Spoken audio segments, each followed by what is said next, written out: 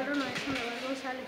Nuestro México del futuro, que haya más escuelas, que tengamos computadoras, que no, diga, que no haya violencia, que, que haya muchos